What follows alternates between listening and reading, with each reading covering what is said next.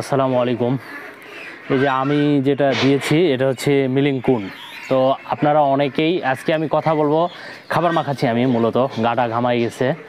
তো আমি খাবার মাখানো নিয়ে আজকে কোনো কথা বলব না, আজকে কথা বলব মিলিং কুন নিয়ে। অনেকে আপনারা কমেন্ট করেছেন। মূলত মিলিং কুনটা হচ্ছে, এটা অটো বয়লারের একটা ডাস্ট বের হয়। আপনাদের এইটার উপরে আমি দেখিয়েছি যে এইটা চালের এক ধরনের চটা থাকে এটাতে। আমি ভিজায় রেখে এটা দেখিয়েছি আর কি।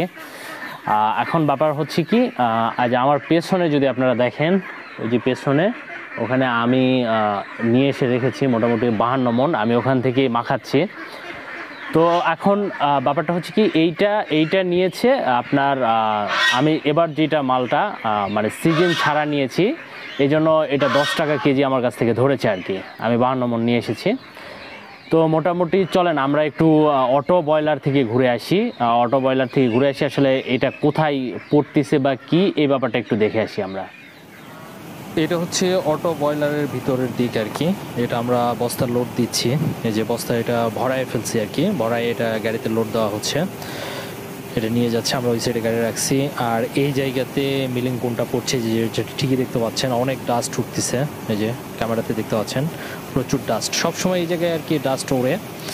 তো আমরা মোটামুটি এটা বস্তা আমাদের লোড দেওয়া মানে ভরানো হয়েছে। এটা ভিতর সাইড আর কি। এক এক সাইডে এক এক জিনিস পড়ে। কোনো সাইডে দেখা যাচ্ছে খুদ পড়তেছে, কোনো সাইডে সিল্কি ব্যান্ড পড়তেছে, কোনো সাইডে অয়েলি ব্যান্ড পড়তেছে।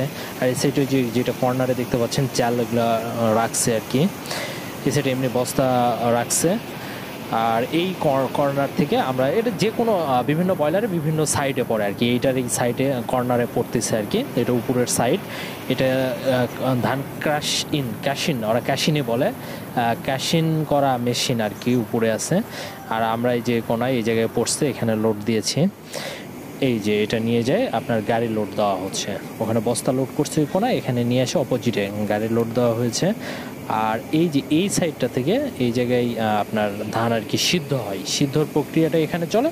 আর আমরা যে অপোজিট সাইড থেকে উঠাইলাম, ওই জায়গায় আপনার এই ক্যাশিনটা হয় আর কি।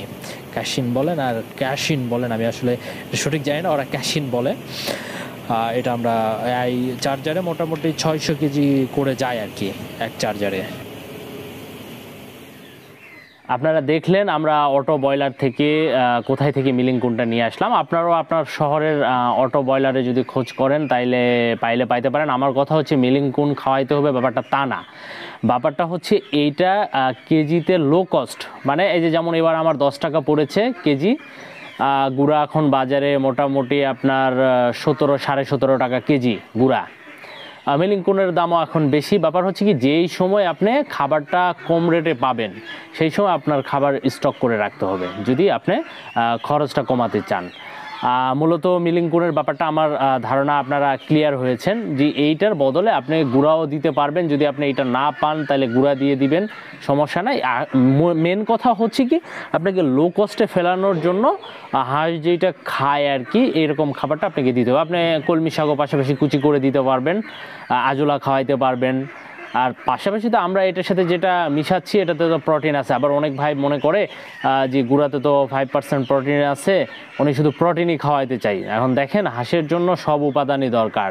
আপনি যদি অধিক পরিমাণে প্রোটিন প্রোটিন খাওয়াইতে চান, তাইলে তো একে তো অনেক খরচ পড়বে। মানে যদি আমি একদম সিম্পলি একটা কথা বলি, সেটা হচ্ছে ভাই আপনি তিনশো চারশো টাকা দিয়ে দেখা যাচ্ছে একটা ভাতের হোটেলে যাই খাইতে পারবেন। আপনি যদি ওইটাই একটা হাইফাই রেস্টুরেন্টে যান দেখা যাচ্ছে তিনশো চারশো টাকা দিয়ে আপনার হবে না। তখন আর মূলত হচ্ছে, ভাই মানসম্মত খাবার আপনার পেট ভরলেই হলো। হাঁসের ব্যাপারটাও তাই ওকে পেট ভরে খাবার দিতে হবে, এটা হচ্ছে ব্যাপার। তো ইনশাল্লাহ এই ছিল আজকের ভিডিও, আবার কথা হবে নেক্সট ভিডিওতে। আমার জন্য দোয়া করবেন, ভালো থাকবেন, সুস্থ থাকবেন, আল্লাহ হাফেজ, আসসালামু আলাইকুম।